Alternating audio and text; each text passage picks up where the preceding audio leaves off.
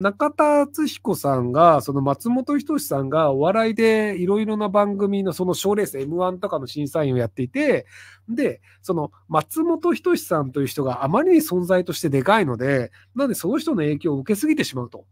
なので、その審査員を降りた方が、何個か降りた方がいいんじゃないですかというのを言ったらしい。すいません。まだ僕はあの時間がなくて動画自体見たいんですけど、まあそういう話らしいんですよ。で、あの僕それが反対している理由というのは、あの、松本人志さんが審査員をやってる結果、多くの人が見て、で、そこで、じゃあ M1 でこういう人がいるんだっていうので、結果として若手が売れるという構造になってるんですよ。で、松本人志さんが審査員やってない R1 とかって、優勝しても全く売れないじゃないですか。何にもならないじゃないですか。で、松本人志さんがやってない賞レースもいっぱいあるんですよ。で、そういう視聴率が低い賞レースに出て、何か賞を持ったとしても、結局、あの売れないんですよ。なので、その多くの人が見るような賞レースというのが必要で、で、多くの人が見る賞レースというのは、まあ、誰が審査員かっていうので人は見るんですよ。だって要は、誰だかわかんない新人が出ますよってなったら、面白いかどうかわかんないじゃないですか。なので、その審査員が松本人志だったら、島田紳介だったら、きっと面白い人がいるだろうねっていう信用のもとに自分の時間を使ってテレビ番組を見るんですよ。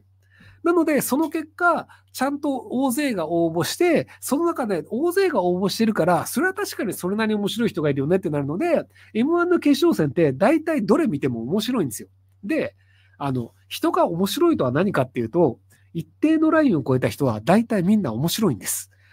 で、例えばじゃあ、錦鯉さん、面白いか面白くないかっていうと、面白いんですよ。でも、錦鯉さんは、M1 で優勝したから面白くなったわけではありません。昔からあの人たちは、ああいう人たちでした。でも、錦鯉さんを世間の人は知らないんですよ。知らなかったんですよ。M1 取るまでね。で、M1 を取った結果、あ、こんな面白いおじさんたちがいるんだってなって、で、錦鯉さんがバラエティに出て、で、その、しょうもないことやるじゃないですか。で、めちゃくちゃ面白いっていうので、大爆笑することはないんですけど、ただ、あの、ハゲがおもろいことやってるわっていうので、ほっこりする。で、あの、ほっこりさせることはできる人は、他にもいっぱいいるんですよ。でも、他にいっぱいいる人がスポットライトを浴びない結果、錦鯉さんは仮に M1 取ってなかったら、引退してたかもしれないんですよ。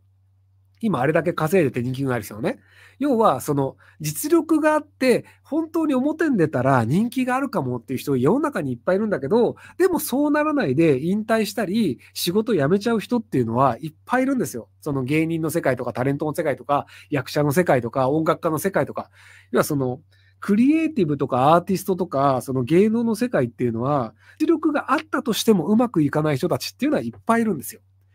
で、そうじゃない人、その実力があるけどうまくいかない人をできるだけ表に上げるための場所っていうのでコンテストっていうのがあると、その新人なんだけど、出て、あ、この人たちいいじゃん、面白いじゃんってなるっていう場をどれくらい作れるかっていうのは、その産業が維持できるっていうのによるんですよ。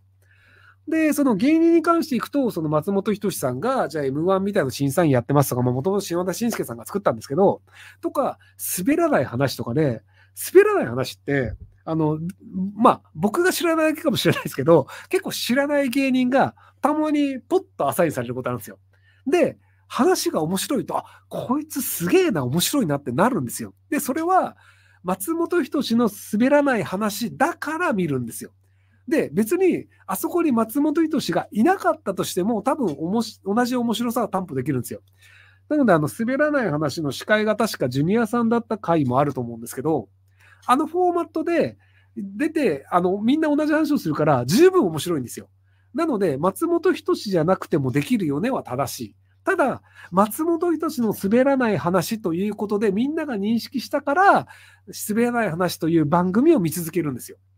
なので、松本人志という看板のおかげで人が見るようになる。なので、審査員をその松本人志が降りるべきであるっていうので、松本人志さんの出る賞レースが減れば、それだけ人は賞レースを見なくなってしまって、新人が生まれる機会が減ってしまうんですよ。その中田さんの言う、その松本人志イズムにみんな頼りすぎてしまうが良くないって、それは僕もそう思いますと。なので、解決すべき方法は、中田さんが自分で賞レースを作るべきです。